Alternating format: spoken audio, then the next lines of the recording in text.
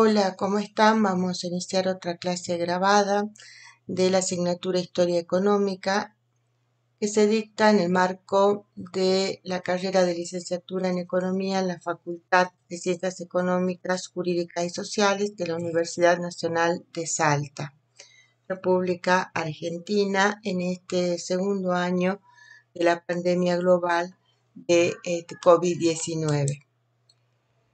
Vamos a continuar con las actividades que veníamos haciendo en eh, clases y tareas anteriores.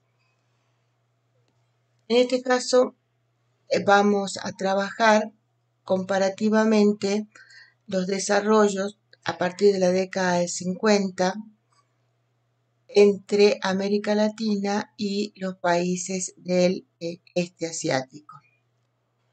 Recordemos que este vertiginoso avance de las economías de Japón, Corea del Sur, Hong Kong, Taiwán, Singapur, tomando estos, esta primera tanda de nuevas economías industriales que se desarrollan tras de Japón después de la Segunda Guerra eh, Mundial, va a desafiar a las teorías del desarrollo social que hasta entonces estaban sólidamente instituidas. Estas teorías las podemos leer en diferentes claves, en clave liberal o en clave marxista. Pero lo que vemos que a partir de este espectacular y vertiginoso crecimiento económico, se va a poner en duda ese esquema que habíamos trabajado en la clase anterior del el historiador William Rostow. Una de las primeras respuestas observables en los estudios sociales fue el abandono de la lógica estatal nacional de las investigaciones para empezar a profundizar en estudios transregionales sobre el desarrollo. Y América Latina va a ser uno de los espacios elegidos para el abordaje comparativo transregional. Las preguntas y las respuestas respecto de la convergencia o divergencia en el desarrollo de ambas regiones, estamos hablando de eh, el este asiático y eh, América Latina, van a estar íntimamente relacionadas con la performance que éstas tienen con la trayectoria que manifiestan al momento de la escritura de quienes estudian las temáticas. Con esto queremos decir que va a depender de cuándo hacemos los análisis. Y ahora nos detengamos en este cuadro que nos ofrece eh, Carlos Méndez Guerra sobre la brecha en el desarrollo entre Latinoamérica y el este asiático, bienestar, eficiencia, mi localización, está basado en los datos de la conferencia Board de 2013. Bien, em, este gráfico va de 1960 a este 2010 y va a tomar algunos países eh, de este, América Latina, algunos, países y ciudades-estados de Asia y también lo va a tomar la región este, como un total. Y lo que vamos a observar, por ejemplo, es en, este, en una tabla del el PBI por hora, cómo este, se va deteriorando progresivamente el este PBI por hora en los países de América Latina y eh, en cambio va a haber un movimiento a la inversa en los países del el Asia. Veamos, este, por ejemplo, Argentina. Entonces tenemos 1037 eh, dólares con 30, 1970, en la década siguiente 40,11, 1980 41,17, 1990 28,94, 2030 con 49, 2010 21,69. Brasil 16,86, 24,01 en 1980, 16,22 en el 2010. Por lo menos mantiene el monto de 1960, eh, a diferencia de Argentina. Chile, en cambio, sube progresivamente, hay algunas bajas, pero de 1960, 25,05 en 1960, 26,75 en 2010. 19,62 Colombia, 15,19 en 2010. México comienza un poco más elevado que, pero casi semejante a Argentina, 37,84. Supera Argentina en los 70, 42,50. Baja, una baja semejante en los 80, una baja semejante en los 90. Baja más que Argentina en el 2000 en el 2010 se recupera un poquitito más que la Argentina. Perú sube al 70 30,53, baja en los 80. Acuérdense de esa década perdida que nos hablaba los, los estudiosos.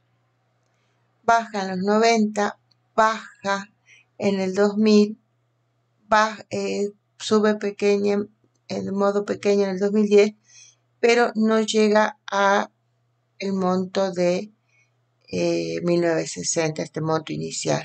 Venezuela. Fíjense, Venezuela. 71,17.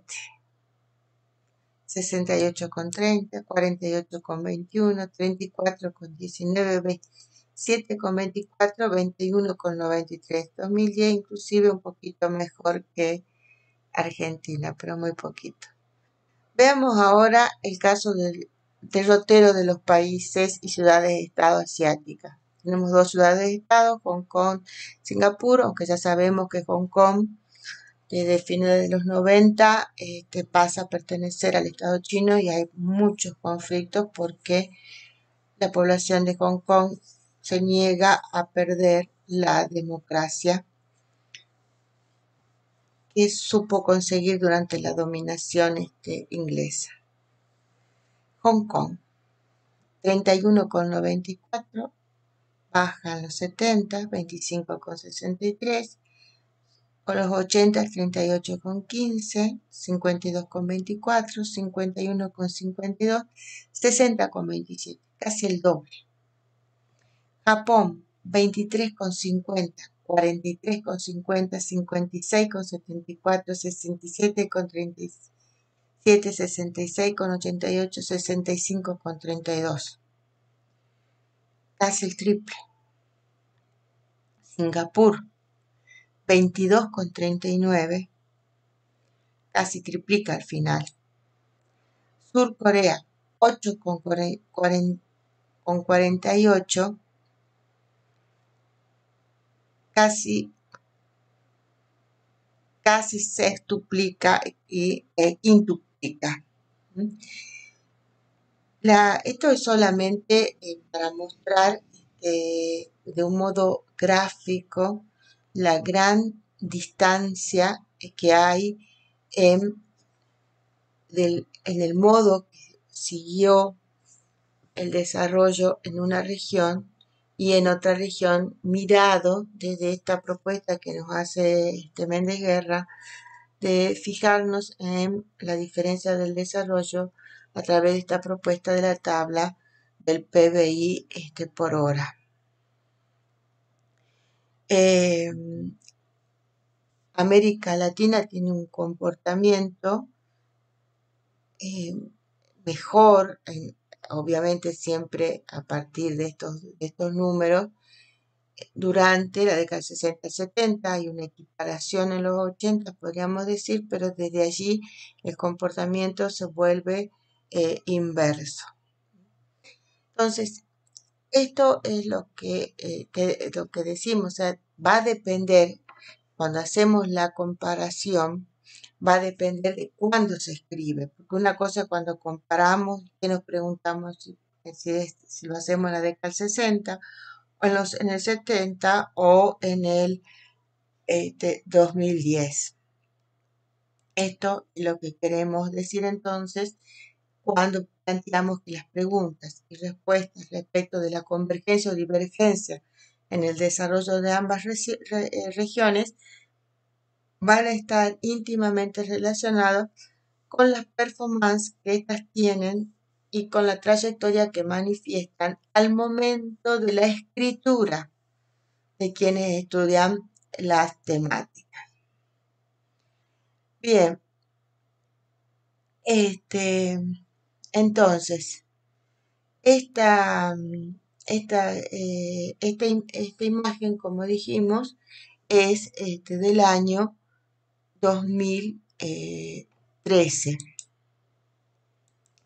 Veamos ahora, vamos a ver algunas publicaciones, cómo eh, podemos nosotros entonces trabajar con las, este, con las publicaciones. A ver, permítanme acá, voy a, a ver si puedo acercar esto, me parece que no. Este, fíjense, en este caso yo lo que hago para presentar esta mirada comparativa, me voy a Google académico, voy a elegir un periodo que va a ser entre 1960 y este, 1969. Esto se llama el intervalo. Voy a ordenar por relevancia, es decir, de los que son de los artículos que son más consultados y sobre, eh, voy a elegir entre esos artículos más consultados para trabajar y proponerle a ustedes qué es lo que se está diciendo en ese momento de la eh, escritura o de la realización de la investigación. Bien, entonces, esta imagen que sigue toma las publicaciones en Google Académico entre 1960 y 1969, ordenadas según el criterio de relevancia y las palabras con las que se buscó, eh, se buscó en inglés, economía, desarrollo, Latinoamérica, este asiático, ¿no? Los datos eh, de 1960 permiten registrar a América Latina como una región de mayor desarrollo que la Asia Oriental. Sin embargo, las cifras anuales que se suceden dan cuenta de la ralentización de la economía latinoamericana y el mejor desempeño numérico de los llamados eh, tigres asiáticos. Esta imagen que acabamos de observar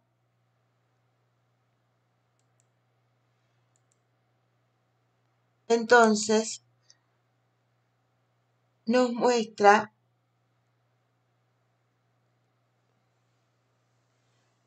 esta eh, divergencia de los este, desarrollos. A su vez, cuando nosotros buscamos en Google Académico, vamos a ver que lo que obtenemos son aproximadamente una devolución de 17.000 artículos y libros que son que van a dar cuenta de esta, eh, de esta divergencia o convergencia, eh, en este caso una divergencia, eh, a comienzos de la década de 1960 hasta 1969. nosotros que hicimos, vamos a trabajar con eh, esta primera página que devuelve los primeros 10 libros o artículos que se publican en ese periodo según la relevancia asignada por el buscador. De estas primeras 10 publicaciones solamente se analiza una en forma integral, eh, perdón, de estas 10 publicaciones solamente una va a analizar de forma integral las regiones de Latinoamérica y del sudeste asiático en eh, relación con el desarrollo económico. se trata de la este, obra de este, Manning Nash que va a desplegar los convencimientos de la época en la que fue escrita. ¿no? Se evidencia allí una concepción de la historia lineal, occidental, eurocéntrica, entiende a la modernización como el proceso que las sociedades, la cultura y los individuos llevan eh, adelante y son receptivos al crecimiento del conocimiento y a su empleo en actividades ordinarias de la vida diaria. Eh, el autor va a expresar que el crecimiento económico es un proceso discontinuo que implica los cambios que conducen a la participación de las sociedades a la corriente de la historia cultural denominada modernidad. Para este autor, América Latina es observada como una región pobre en recursos pero que aparenta convertirse en un miembro electo para integrar y selecto para integrar la modernidad. El sudeste asiático, en tanto, es caracterizado por este autor como una región rica en recursos, pero que parece estar atrapada en una vorágine económica descendente. Esta es la mirada en estos años de 60 al este, 69, que teníamos este punto de partida, ¿no? Y acá, este, entonces, a quienes con quien estamos este, trabajando es con este, Manning Nash.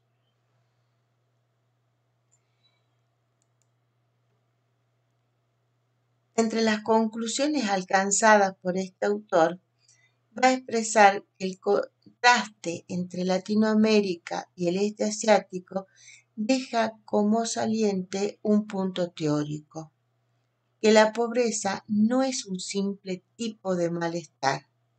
Sostiene que los problemas asiáticos son de construcción de la nación, de las empresas, de los mercados integrados, de las tradiciones técnicas y de la estabilidad social. Mientras que Latinoamérica está más enfocada en un reordenamiento de los valores y del sistema de estratificación para evitar que un sector de la sociedad gane poder político y económico. Una interesante, eh, interesante eh, planteo. Mientras el este asiático está preocupado en cómo va a construir la nación, América Latina está eh, preocupada en un enfrentamiento este, político de sus élites, agregaría este yo. Bien, este, el, artículo de Manning Nash es este, ¿no? Eh, los prerequisitos sociales para el crecimiento en Latinoamérica y el sudeste asiático y es un artículo que se va a publicar que se publicó, perdón, en el año 1964 en una revista que se llama Desarrollo Económico y Cambio Cultural. Bien, si nosotros vamos ahora a pensar eh, y avanzar, ¿qué pasa en los 70? ¿Mm? Que si recordamos la tabla de este, Méndez Guerra, los 70 todavía este, América Latina tiene una superioridad este, en, por lo menos en estas cifras este, económicas, frente a el este asiático. Bien, y hacemos el mismo este, ejercicio. Vamos a hacer la búsqueda en Google Académico. En este caso, el intervalo es de 1970 a 1979. Acaba de volver casi un número semejante de este, investigaciones son 17.200 publicaciones y eh, pese a la importancia que hay en este momento de la producción latinoamericana, ni los artículos ni los libros ofrecen análisis comparados entre las regiones de Latinoamérica y el este asiático. ¿no? Eh, recuerden ustedes que vamos a, eh, en esta época, es eh, la época que comienza a tener muchísima fuerza el, este, estructuralismo dependentista latinoamericano y las concepciones del este, desarrollo. Bien, acá eh, vamos a trabajar, vamos a hacer, este, seguimos trabajando con este, las mismas este, palabras en el buscador. Este, de la primera página que devuelve el, buscador podemos seleccionar entonces el eh, artículo escrito por David Morawetz, eh, un artículo para el Banco Mundial y su preocupación se centra en analizar 25 años del crecimiento económico entre 1950 y 1975. Señala que esta etapa se caracterizó porque las naciones desarrolladas crecieron cerca de un 2% por año solamente, mientras que los países en desarrollo hicieron lo propio en un promedio del 3,4% índice que superó las expectativas de políticos y estudiosos. Japón va a ser excluido del conjunto de los países del Asia Oriental y es incorporado en el grupo de las naciones desarrolladas. Veamos entonces algunas de las gráficas que nos va a proponer David Morawitz este, en este eh, artículo que eh, lo hace como un informe al Banco Mundial. Fíjense ustedes que este, dentro de las gráficas acá tenemos el sudeste asiático y el Latinoamérica también este, se va a trabajar ¿no? Esto en cuanto a población y PBI por cápita, este porcentaje de PBI relativo al PBI de la este, OCDE. Y esta tabla 4, el PBI per cápita en dólares estadounidenses en 1974. Veamos entonces este pequeño panorama que nos ofrece este autor. Pequeño y gran panorama. Entonces tenemos acá 1950, 1975, ¿no? Este, tenemos acá el caso de, va a tomar China, de China, este, Taiwán,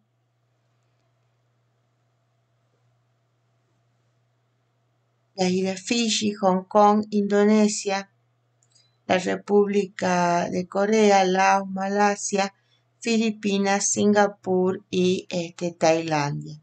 ¿no? En algunos casos no hay, este, no hay datos y en otros casos este,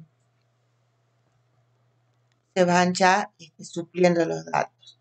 Entonces tienen acá el caso, por ejemplo, de Hong Kong, ¿no? 1950 de 470 PBI eh, per cápita en 1950, ¿no? Se, este, se triplica en 1975. Vamos a tomar los países que este, nosotros estamos trabajando en el caso, miren acá el caso de este, Singapur, 2307. Malasia es menor, ¿no? Se duplica. Lo mismo este, Tailandia, China, eh, Taiwanesa formosa. Para que vean el movimiento que se da en estos países asiáticos. Ahora acá hay un cuadro este, comparativo, pero ya en relación este, con, con las regiones de Latinoamérica y este, África y el sudeste asiático, el sur asiático, perdón. Acá está regionalizado hacia el sur y el este asiático. Y acá también, ustedes tienen también eh, eh, interesante porque nosotros acá tenemos lo que es este, la población y también el PBI este, per cápita a nivel este, regional, ¿no? Y en el caso del este asiático, de 130 a no veo perdonen, del este asiático de 300 312 dólares en 1975, Latinoamérica 304, no, perdón, estoy leyendo acá la tabla de población. La población 312 millones en el este asiático, 304 millones en, Latinoamérica, una población este, semejante, podríamos decir. En 1950, el PBI en, en dólares 4,95 y 130 y 900 1950. el, crecimiento ¿no? va a ser eh, de 2,6 en Latinoamérica y de 3,9 en, eh, en, el, en el este asiático. Después también va a hacer una comparación entre Latinoamérica y las diferentes regiones, sureste eh, asiático, países desarrollados,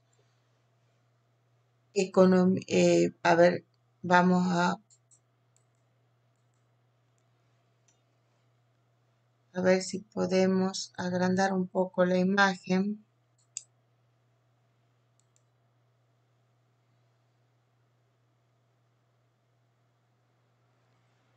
Bien, acá vamos a tener entonces que este, en este informe entonces vamos a ver que este, el autor ya advierte que en 1950 las regiones de América Latina y el Oriente Medio, acá, acá, América Latina y el Oriente Medio, eran cinco o seis veces más ricas que las más pobres del Asia Meridional. Sin embargo, un cuarto siglo después, el Oriente Medio se va a alejar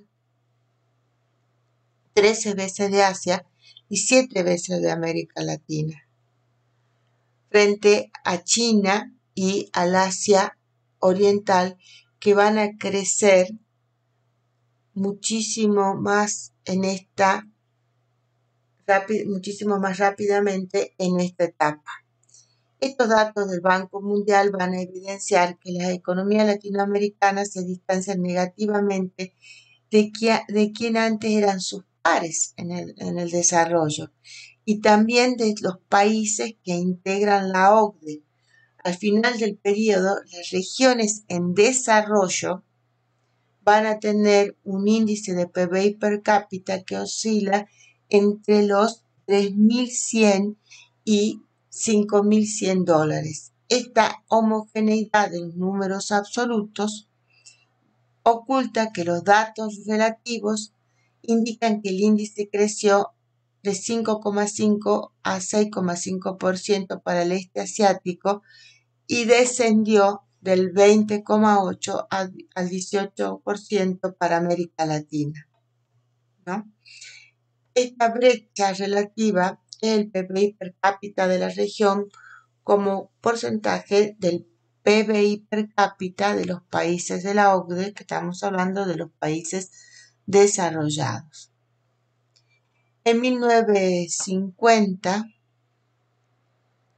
el PBI per cápita promedio de los países de la OCDE va a ser de 2.191 dólares más que el de los países en desarrollo. En 1975, esta diferencia va a duplicarse y va a ser de 4.839 dólares más en este promedio.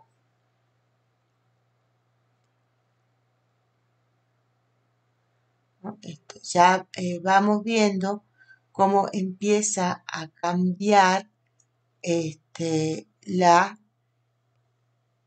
la escritura y también comienzan a cambiar las este, preguntas. A ver si, esperen, voy a mover esta. Acá tenemos esto que hablábamos este, recién.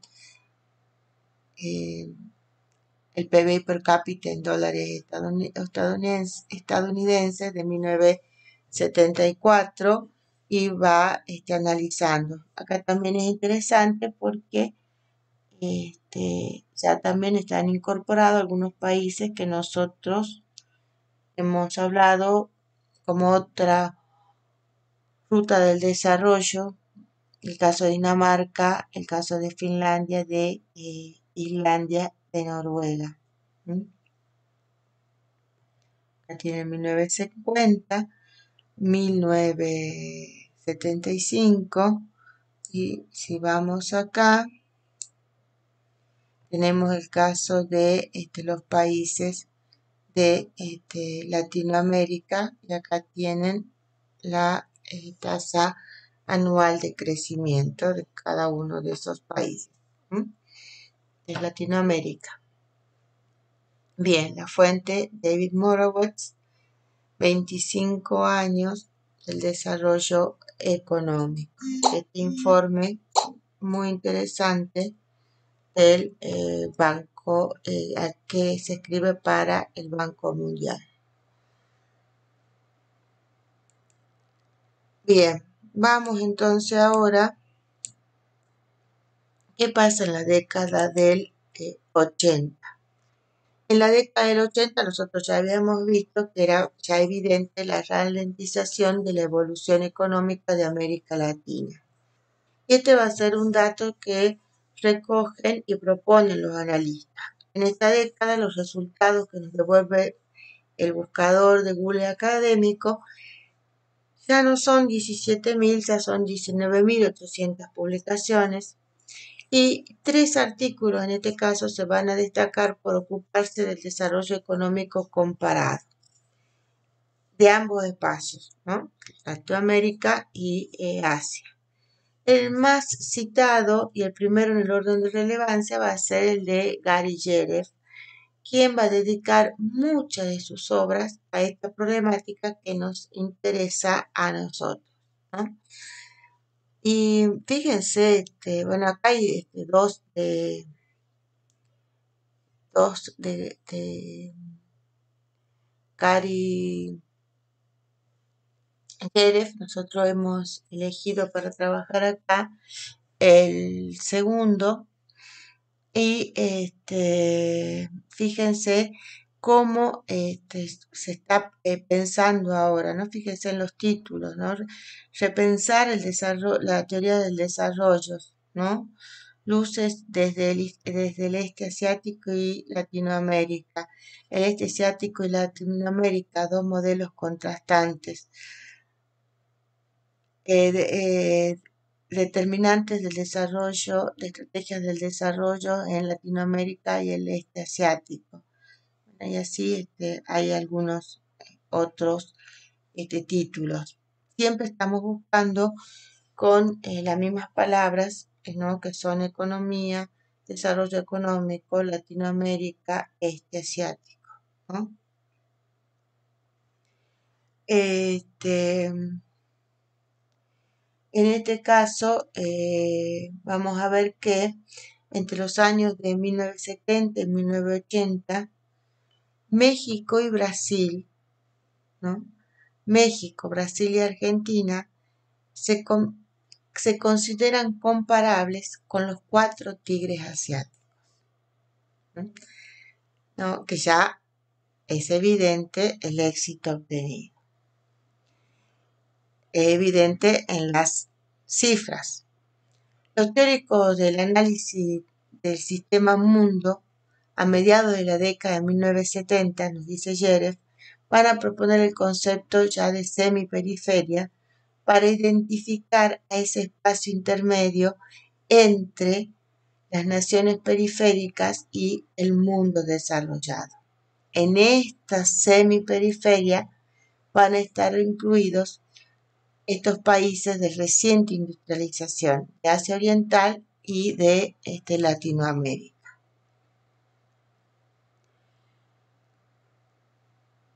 En 1974, recuerden ustedes que Valentin va a exponer que estas regiones, la semiperiferia, tienen la capacidad para resistir de convertirse en periferia pero no la capacidad para moverse hacia arriba, ¿no?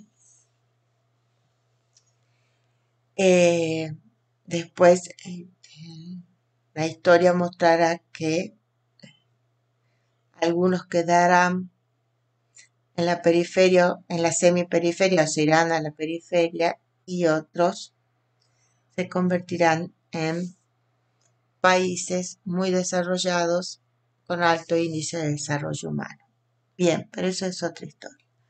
Veamos entonces acá que los economistas vinculados al Banco Mundial ya a comienzos de la década de 1980 argumentaron que las estrategias de desarrollo orientadas hacia el exterior por estas nuevas economías industrializadas de la Asia Oriental van a llevar a un mejor desempeño económico en términos de exportaciones, crecimiento económico y empleo que sus contemporáneas latinoamericanas. ¿Mm? Entonces,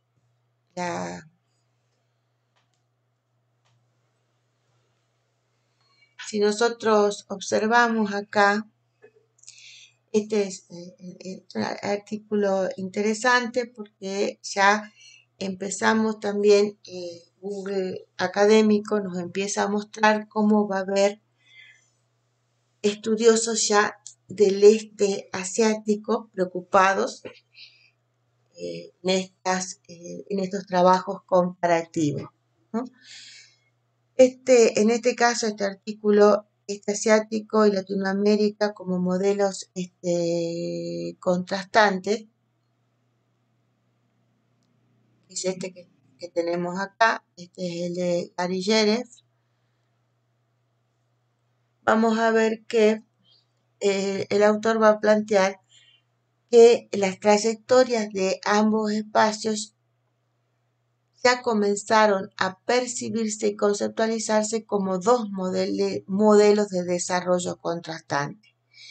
Mantiene, en este caso, por ejemplo, de Jin Yuan Lin, se mantienen los impulsos ya de los trabajos de las décadas anteriores porque brindan todavía un análisis estatal nacional, ¿no? Y va a poner bajo la lupa el autor, ya con ustedes, si ustedes leen el artículo, a diferencia de eh, los planteos del anterior, va a comparar en este caso a Taiwán y Corea del Sur con Chile y Argentina. ¿no? Por cuanto va a afirmar, estamos hablando de 1988, va a afirmar que estos dos últimos países tienen una larga historia de industrialización y son los mayores en logros educativos. Este investigador, que es de origen taiwanés, va a entender que este rápido crecimiento económico y la estabilidad de los precios internos tiene como respaldo una aguda expansión de las ganancias exportadoras que reforzó la solvencia, las importaciones y las inversiones. Y va a decir que el pobre desempeño económico de los países americanos se explica por el círculo vicioso conformado por crisis de la balanza de pagos, inflación crónica y lento crecimiento económico. A este trípode descendente se suma la incapacidad de sostener reformas políticas en el tiempo. Argentina em, ejemplifica este estudioso taiwanés, se caracterizó en la década de 1960 por una protección, una política proteccionista, estimada en el 47%, mientras que sus pares asiáticos manifestaron índices del 5% en el caso de Taiwán, 10% en el caso de este, Corea del eh, Sur. ¿No? Y este, va a concluir que, y acá cito textual lo que dice Chin Chuan Lim, es irónico, pero no sorprendente, que los países de América Latina que habían intentado sostener el crecimiento interno mediante un mayor endeudamiento externo y una renovada orientación hacia adentro, terminen con perspectivas de crecimiento mucho peores, mientras que los países de Asia Oriental que habían puesto más énfasis sobre el control de la inflación y el fortalecimiento de la competitividad internacional, terminan con una salida económica más brillante. ¿Mm?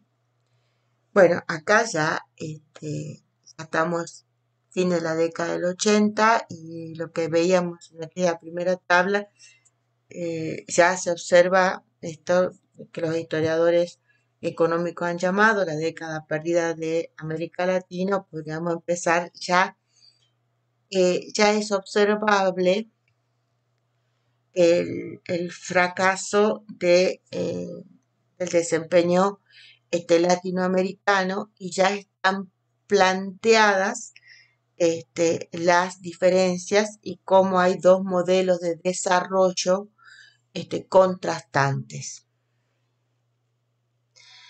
Bien, entonces, este, si nosotros vemos esta tabla, esta tabla está este, reproducida en el, en el texto de este autor, este estudioso taiwanés. Y aparte es muy interesante el texto porque este, ¿no? este, este ejercicio de comparar Chile, Argentina, este, con Taiwán y Corea del Sur, ¿no? Y lo va, este, va comparando con eh, diferentes ítems, este, ganancias, este, ganancias exportadoras, este, importaciones, producción manufacturera, eh, producto bruto. Va entonces haciendo y este, va a decir que eh, con, estas, eh, con esta tabla entonces va a plantear el crecimiento de las ganancias de exportación, el poder de compra, las importaciones, las exportaciones, el volumen de las importaciones, la, eh, la producción de la manufacturera, el PBI real entre 1949, 1960, 1960, 1973 y 1973 y 1985 en, en eh, variaciones eh, porcentuales. Bien, a diferencia de Lim, este otro autor que estábamos hablando, Gary Jeffer, va a caracterizar de falso el dilema del desarrollo orientado hacia afuera versus el desarrollo orientado hacia adentro, que es el que nos plantea Lim. Eh, Jeffer, en cambio, va a reclamar un enfoque más integral que considere que los países ocupan roles diferenciados en la economía mundial que requieren una combinación de industrias que produzcan para exportar y para los mercados internos. Bajo los influjos de los teóricos del análisis del sistema mundo, va a reclamar que la teoría del desarrollo debe incorporar e integrar los niveles de análisis global, perdón, global, nacional y local. Y acá ya vemos cómo este, las nuevas epistemologías van a comenzar a tomar forma y fuerza en los análisis de la década del 90. Cuando nosotros este, ya eh, trabajamos la década del 90, a ver, vamos acá, ¿no? Acá estamos trabajando eh, eh, en 1990-1999, el buscador ya nos devuelve 21.200 resultados y a diferencia, a ver, voy a bajar acá, bien, este, a diferencia de las décadas este, anteriores, vamos a encontrar en estos años que eh, siete de los 10 artículos más relevantes de la primera página se dedican a analizar ambos espacios. ¿no? Ya en la década del 90 hay una gran atracción, siempre estamos eh, planteando obviamente eh, las palabras en inglés, pero eh, más allá de esta cuestión obviamente es importante, pero ya hay un mayor, mayor interés que el observado en épocas anteriores. Y hay otra cosa que hay que tener en cuenta en la década del 90, que a partir de 1992 ya eh, Internet comienza a hacer circular la producción científica, ¿no? Porque eh, todo esto que hemos mostrado es producción que se fue cargada a partir de la década del 90 en estos este, buscadores. Bien. El artículo más citado en esta etapa es el de Simon Hain, que está publicado en 1992. ¿no? Interesa destacar aquí que estas nuevas producciones identifican ya objetivamente la teoría de la dependencia latinoamericana eh, van a cuestionar las narrativas teleológicas y eh, no van a escapar de la cosmovisión eurocéntrica, ¿no? Tienen a abandonar el análisis comparativo estatal nacional para empezar a, identificar regiones muy bien este, diferenciadas. Y este, esperen un poquito porque estoy en la filmina anterior, acá.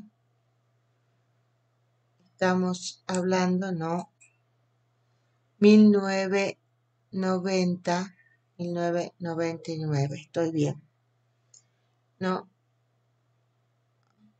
A ver, a ver, a ver. No, porque acá me voy antes. Bien. Creo que este... A ver.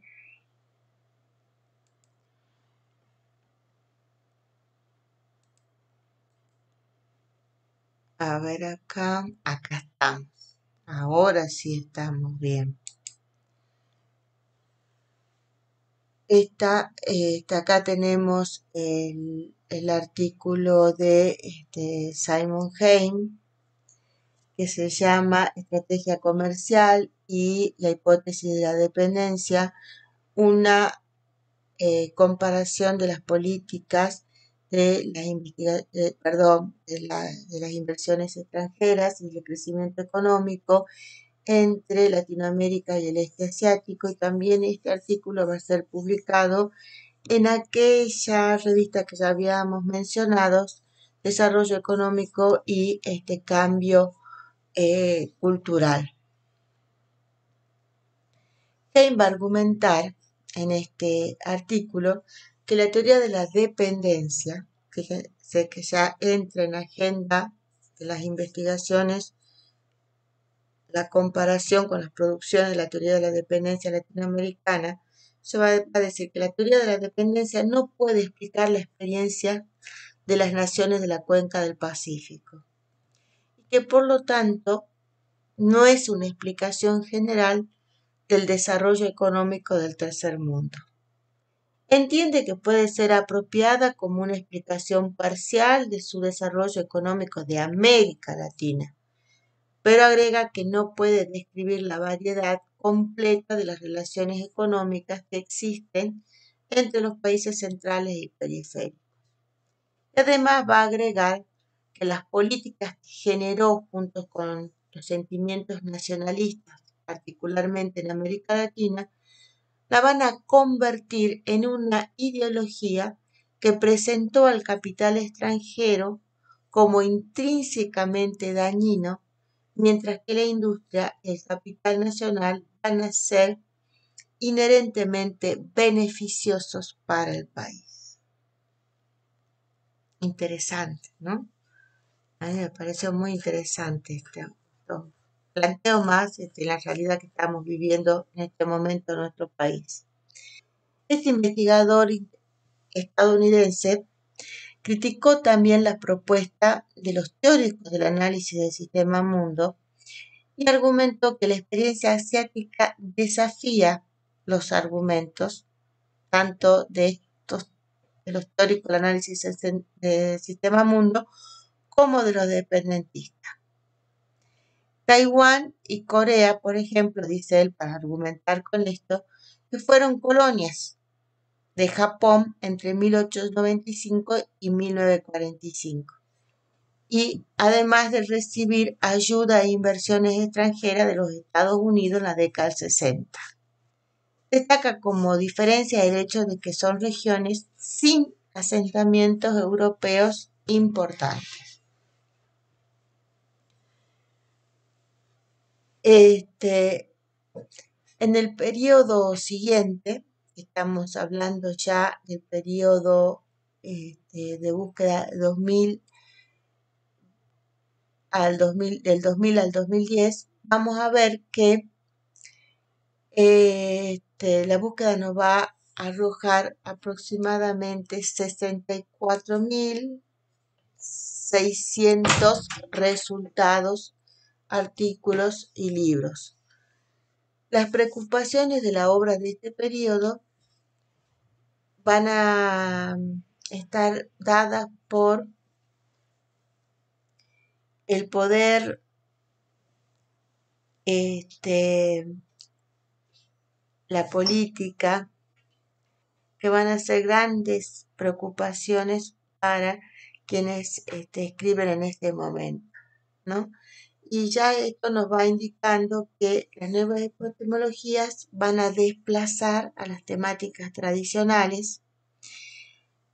Ya el desarrollo económico no va a ser entendido en clave modernizadora, ¿no? De estas teorías de la este, modernidad que hemos hablado tantas veces, en esta clave modernizadora occidental.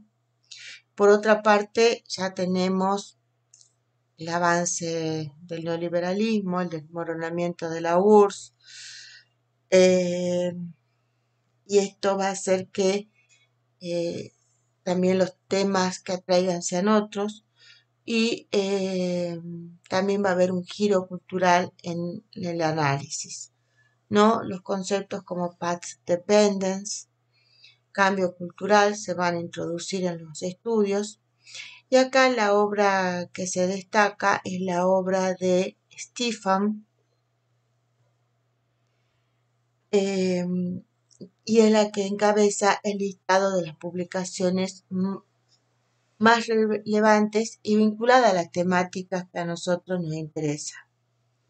Los nuevos tiempos que se viven inciden para una valoración distinta del periodo de auge de las políticas mercado internistas y la teoría de la dependencia latinoamericana. Acá la ICI, es decir, la industria de sustitución de las importaciones, caracterizada como una estrategia, por Stefan, ¿no? autoconsciente de desarrollo a nivel regional, guiada por la doctrina Previch. Al respecto, este autor, junto con Roderick, van a sostener que a nivel interno no hay ninguna razón por la que la búsqueda de la sustitución de importaciones necesariamente esté asociada con políticas monetarias y fiscales inflacionarias. A nivel externo, van a considerar que el sesgo contra las exportaciones y la dependencia tanto de las importaciones como del financiamiento externo fueron las características integradas del modelo latinoamericano. Dicen que en toda la región los países tuvieron que enfrentar dificultades recurrentes en las balanzas de pagos que solo reforzaron las inclinaciones hacia la protección, los controles externos, la creciente dependencia de los préstamos extranjeros, un cóctel que fue preparando el escenario para la crisis de la década de 1980. Otros autores que podemos citar que trabajan en este periodo, Hagar y Kaufman, se ocupan de las relaciones entre la industria de la, eh, de la industrialización por sustitución de importaciones las políticas de bienestar. ¿no? Y van a decir que en las décadas del 50 y 60 los argumentos estructuralistas enfatizaron los efectos estimulantes de acuerdos salariales generosos, derechos sociales y protecciones del mercado laboral.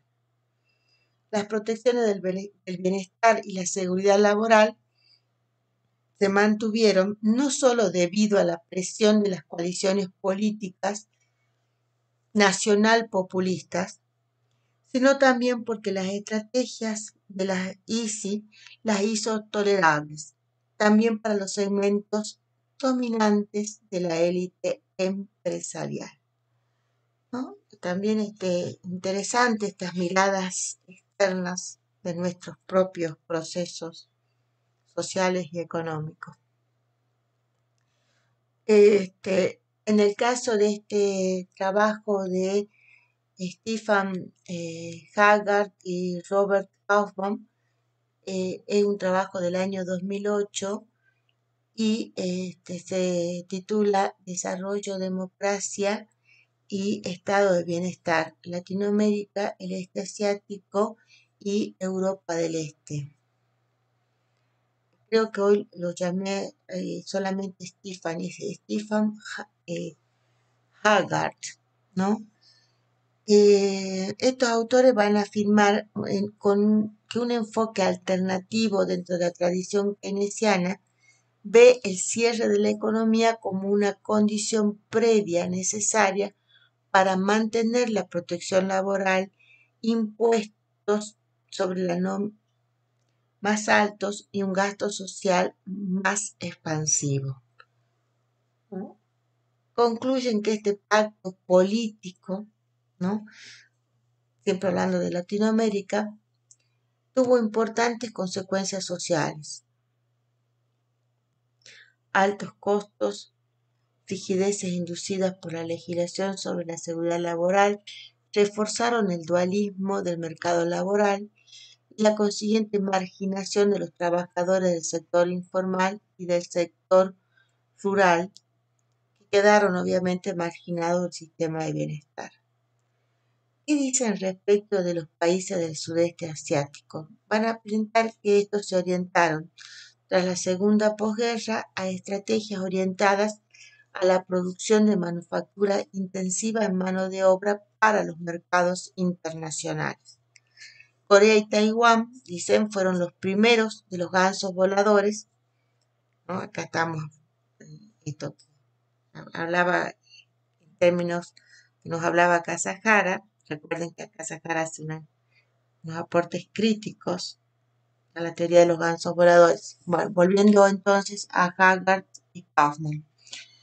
Dicen que Corea y Taiwán, Taiwán fueron los primeros de los gansos voladores que se movieron en esa dirección a mitad de la década del 60, como respuesta al declive de la ayuda norteamericana. Después va a seguir lo, siguen Singapur y Hong Kong, quienes se dedican a atraer inversiones para la exportación. Este primer grupo de países de reciente industrialización, también llamados NIC, asumió sectores y actividades de fabricación que ya no eran rentables en Japón Filipinas, dice, va a ser el único estado de la región que siguió patrones semejantes a los latinoamericanos, es decir, de eh, proteccionismo, y que al igual que esto terminó en los 80 en una crisis de deuda. Eh, a partir eh, del 2000 nosotros ya sabemos que hay un cambio muy grande este, en, los análisis de historia económica y eh, sobre todo por, eh, creo yo, ¿no? la obra de Kenneth Pomeranz.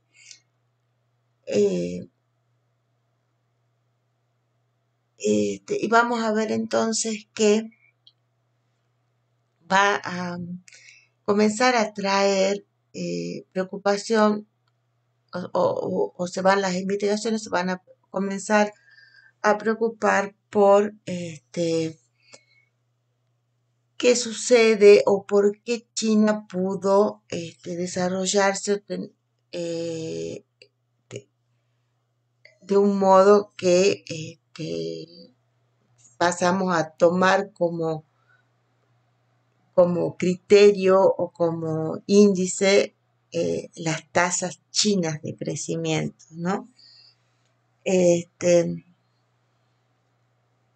y ahí vamos a tener eh, diferentes, eh, diferentes este, planteos, que son los que vamos a trabajar este, la, próxima clase, cuando este, se plantee si, esto, en el caso concreto de China, si este desarrollo de China y Japón obedece eh, a un proceso reciente o obedece a procesos o son explicados por procesos más lejanos en el tiempo.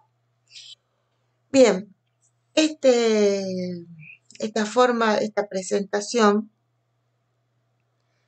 eh, solamente eh, tiene como motivo mostrarle a ustedes un camino de entrada que yo, en mi caso, elegí para pensar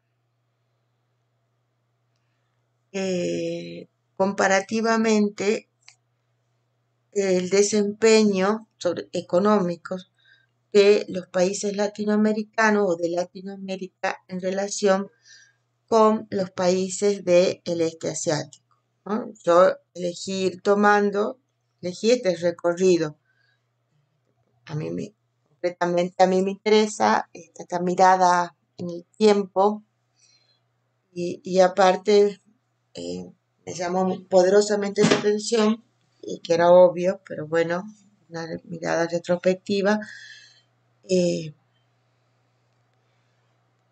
de cómo, eh, cómo la realidad va obligando a la, eh, teoría, a la teoría y a las disciplinas a, este, a modificar eh, las miradas, a nuevas conceptualizaciones y a revisar antiguas este, explicaciones. Bien, eh, en síntesis, ¿qué podemos decir? que los estudiosos no latinoamericanos se van a ocupar de la problemática de esta región eh, a partir, bueno, en este caso, de estas miradas este, comparativas. Una vez que va a ser evidente el ascenso de las nuevas economías industrializadas del este asiático, la problemática comparativa de unos y otros espacios va a tomar este, diferentes, eh, diferentes eh, rumbos. Y este, acá tenemos eh, algunos argumentos que proponen los estudiosos, que bueno, si alguien los quiere, algunos de estas cuestiones estuvimos hablando en alguna de las clases de consulta y si a alguien le interesa, vamos a ver la bibliografía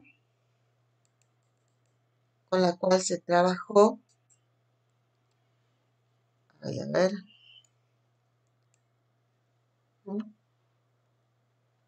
Perdón.